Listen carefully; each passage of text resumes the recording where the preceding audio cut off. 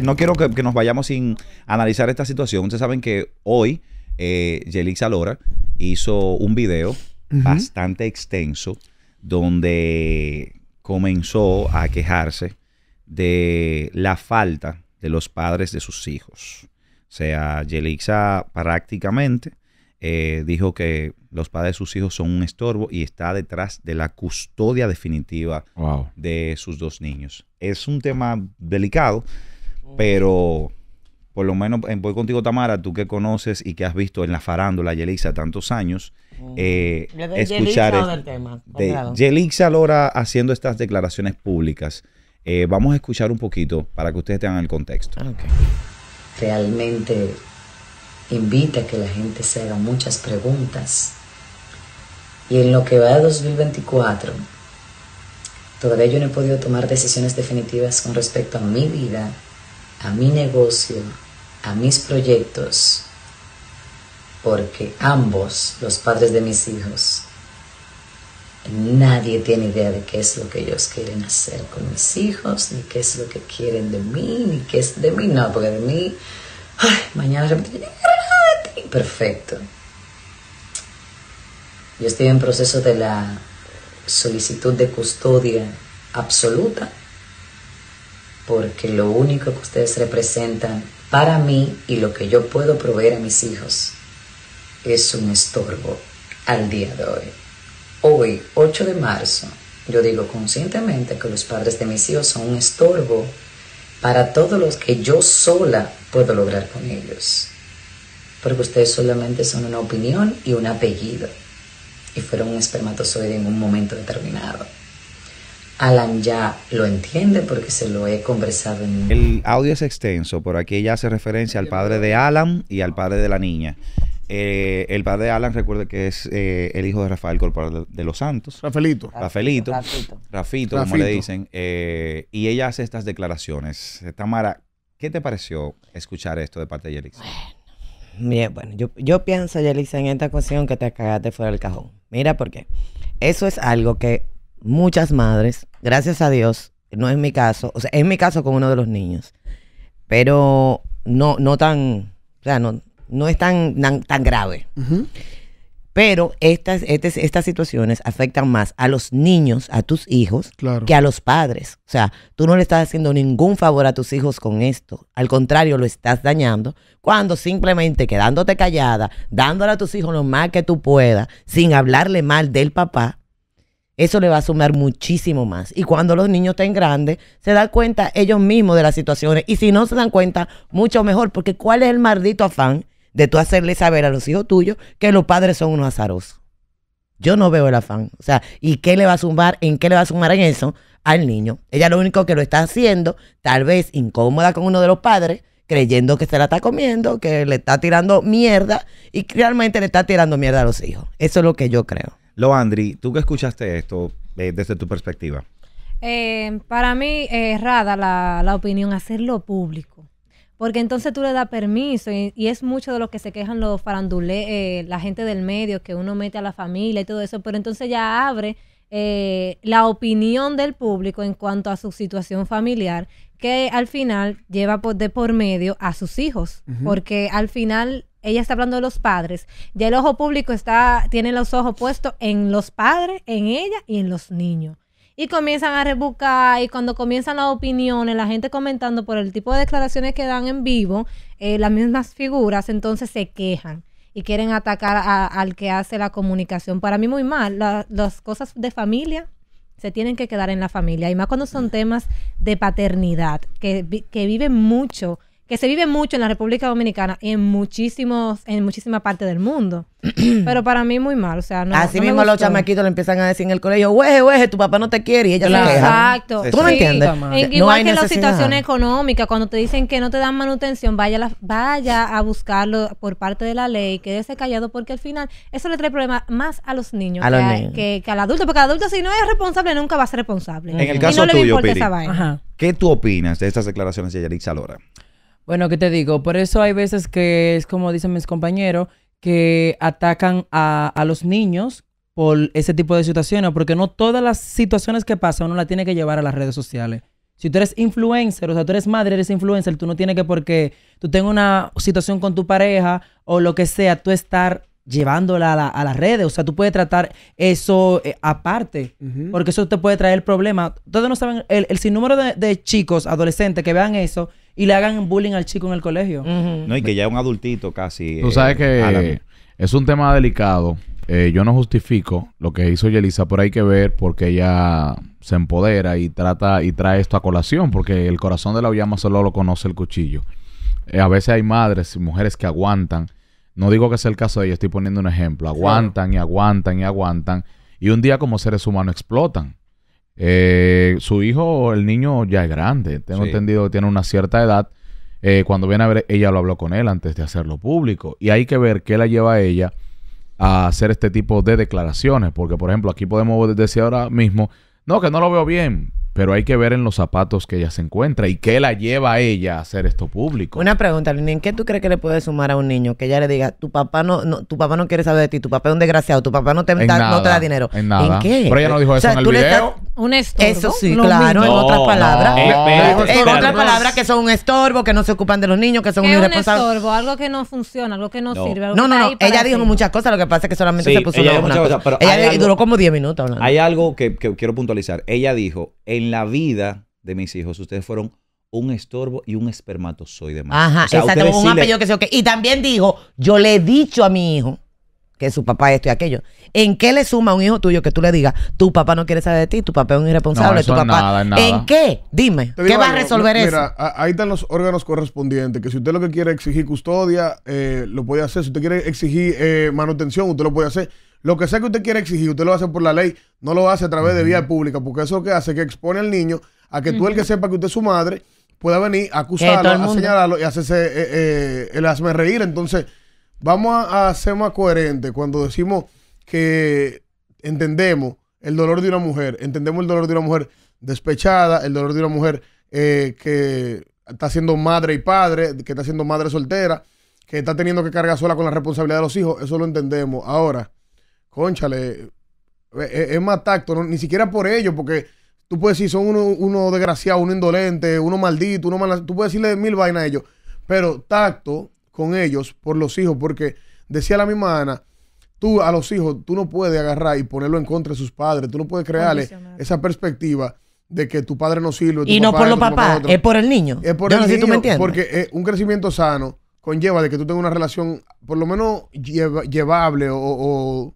o sobrepasable con tus hijos. Ah, que ¿tú hay un vínculo de por vida. Claro. Lo Eterno. menos que deben hacer las personas es llevarse por el por la criatura, tratar de sobre, Y ese, y ese vínculo, ese vínculo se debe respetar tanto como el vínculo con la madre. exacto. No te metas entre un padre y un hijo. No te metas, por más mamá que tú seas de ese muchacho. Claro. Deja que ese niño cree una relación de ellos dos, sin que tú tienes que estar diciendo, quiérelo o no lo quiere.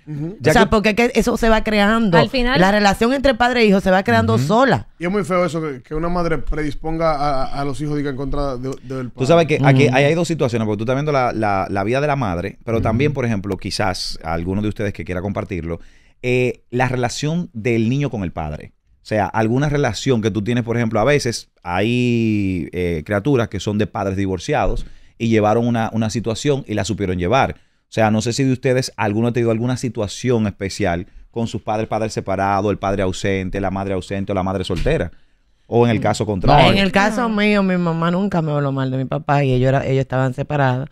De vez en cuando mi papá, vamos a decir, me- eh, que si no aparecía, que me iba a buscar y no llegaba un, una vez al año. Pero mi papá sí tuvo mucha presencia en mi vida. ¿Y qué- Gracias a Dios, y yo, yo durante un tiempo hasta viví final- con ¿Qué hacía él. tu mamá, eh, tu madre, Tamara? A veces lo cubría, ¿no? Le pasó Claro, algo? lo cubría, Lo nunca me habló mal de Muy él. bien. Eso sí que después que yo crecí se viven matando delante de mí, que yo decía, yo le digo, mami, pero ¿y ustedes peleaban así? Cuando yo era chiquita y me decía, muchacha, muchísimo. Lo que pasa es que no lo hacíamos delante tuyo. Claro. O sea, ellos se cuidaban de que yo no viera eso. No, y al final, el que sabe si el padre va a ser un estorbo, el hijo.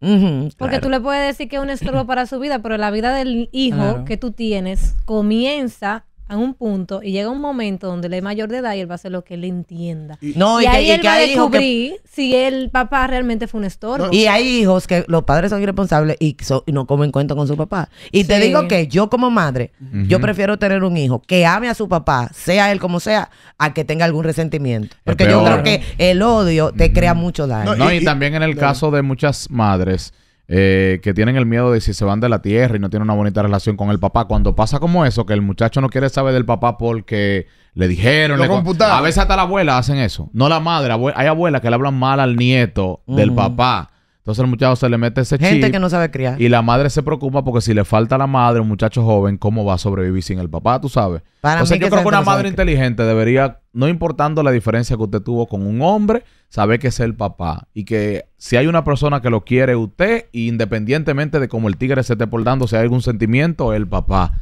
Que en algún momento puede, como pasa, el tipo recapacitar y tratar sí. de buscar a su hijo. Claro. Sí, que Eso pasa mucho. Pasa, muchas veces. Y Señores, que, miren, y- y- y que- y que sepan que si tú quieres mucho a tu hijo, tú no vas a querer que ese niño sufra. Y odiar a alguien Es es, sufrir. sufrir.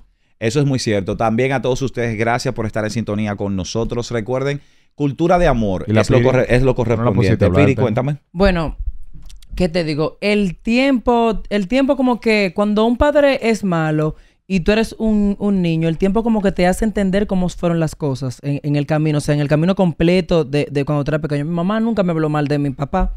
Pero, Pero- tú te criaste con tu papá. No, yo Ah, no me ok. crié nunca con mi papá. Pero yo sí veía las faltas que tenía mi papá. Yo sí veía que cuando habían problemas y cosas así, él no estaba presente. Pero mi mamá nunca me dijo nada malo de mi papá. Él- o sea, simplemente él vive en un tal lugar, él tiene más hijos y, y nada. Pero o sea, a mí nunca me hablaron ¿Y mal cómo es la relación con tu papá actualmente? Con mi papá, eh, yo soy un poquito complicada. O sea, porque, ¿qué te digo? Yo sí vi la falta. Yo sí vi que, que a mí me, me rechazaron porque yo era gay. Pero, pero, ok, tuviste la falta, pero hay un acercamiento, tú cada qué tiempo se ven o si se ven. No, yo tengo más de ocho años que no veo a mi papá. ¿Y no te, Wow. inter- y no te ha interesado, Más por ejemplo, a ti acercarte a él? No. ¿Por qué? No me ha interesado porque en el momento que yo necesitaba que él esté ahí conmigo, nunca estuvo. Y yo no puedo tapar un sol con la... o sea, Pero, con la- pero no, ha- tú no albergas nada en tu corazón. No, yo o no sea, tengo no nada. Pero él yo no quiere, tengo- yo él no- quiere Yo no tengo un nada. acercamiento. No, tú sabes qué pasa. Que ahora porque yo estoy en los medios, ahora soy un poquito más famosa, ahora me escribe. Y yo digo Mm. que no, ahora no es el momento para escribirme, era cuando yo lo necesitaba.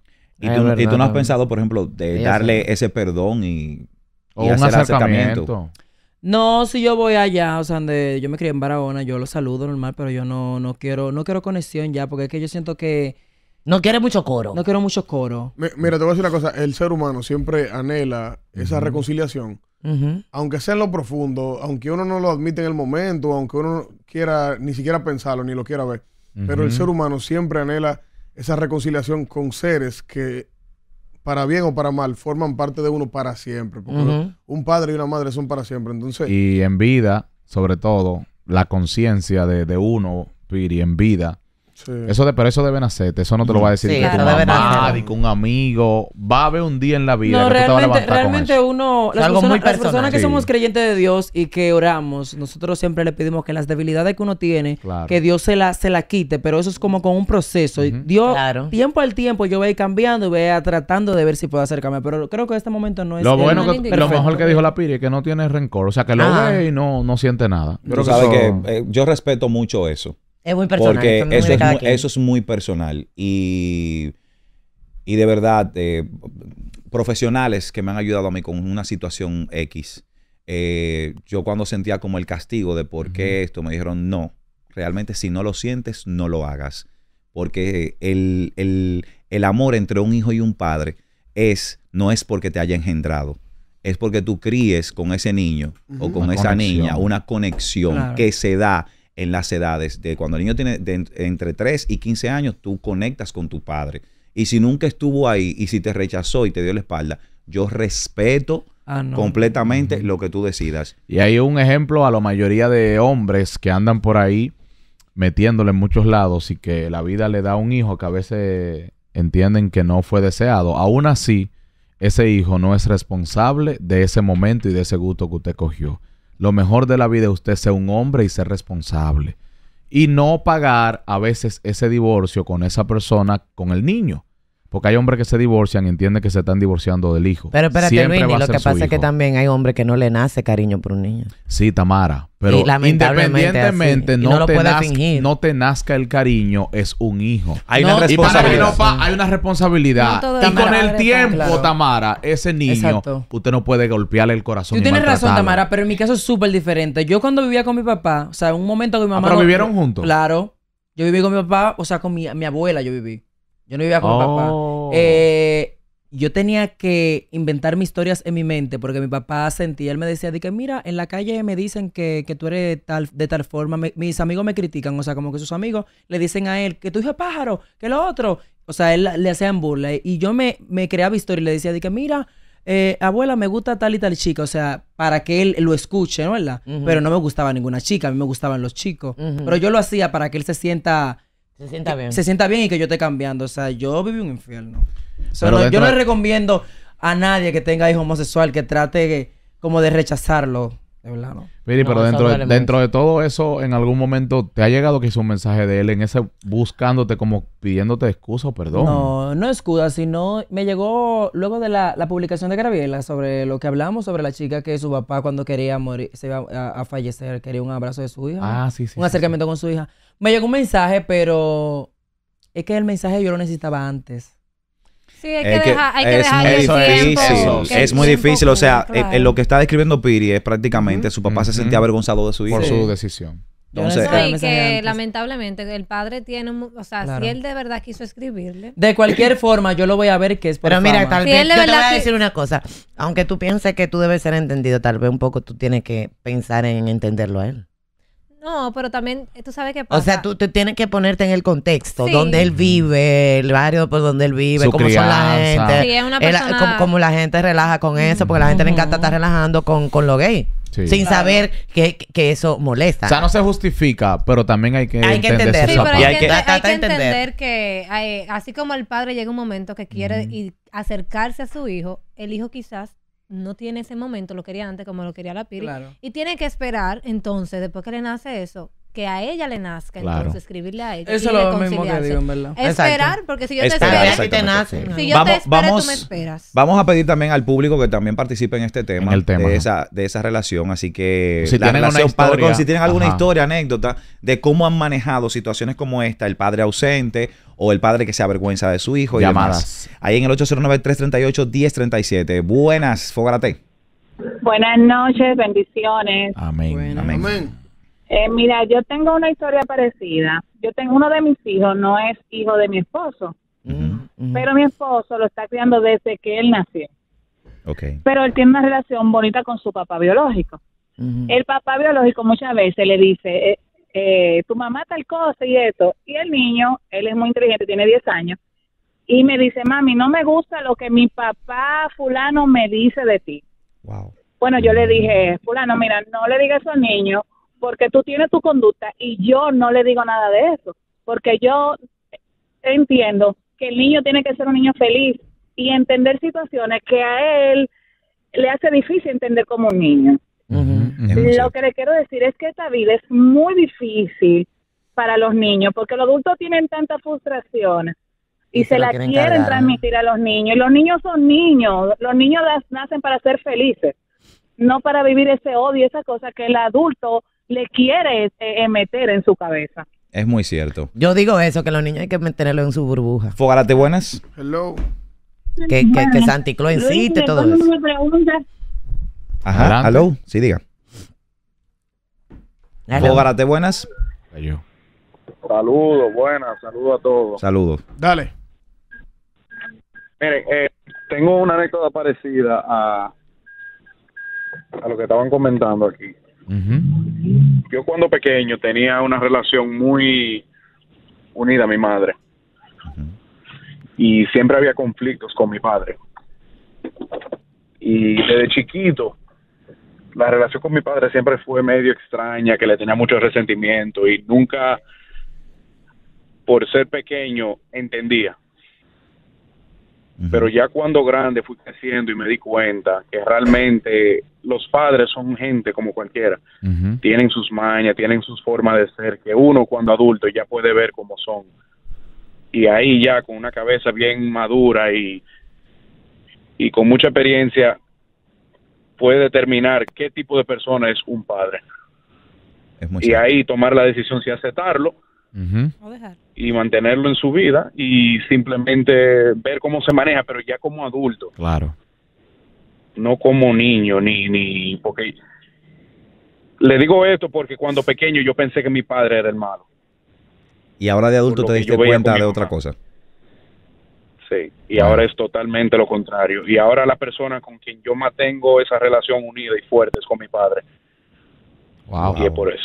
Qué bien. Eso pasa, eso pasa muchas Pero es que veces. los hijos no estamos para juzgar a papá y a mamá, es para quererlo. Exactamente. Y por más que tu papá y tu mamá tengan de que defectos, tú solamente tienes que ver la relación que tú tienes con tu papá y tu mamá. No de que, ay, yo no voy a querer a mami porque mami es una chimbosa, por ejemplo. O es un cuero. Claro. No. O sea, Realmente- usted no está para juzgar a papá y a mamá, usted está para quererlo. Es realmente hay que evitar, nosotros los padres debemos de evitar hablarle mal a nuestros hijos de nuestras exparejas. Ujú. Completamente. Eso es violencia vicaria, hablarle a los hijos mal de su papá o de su mamá.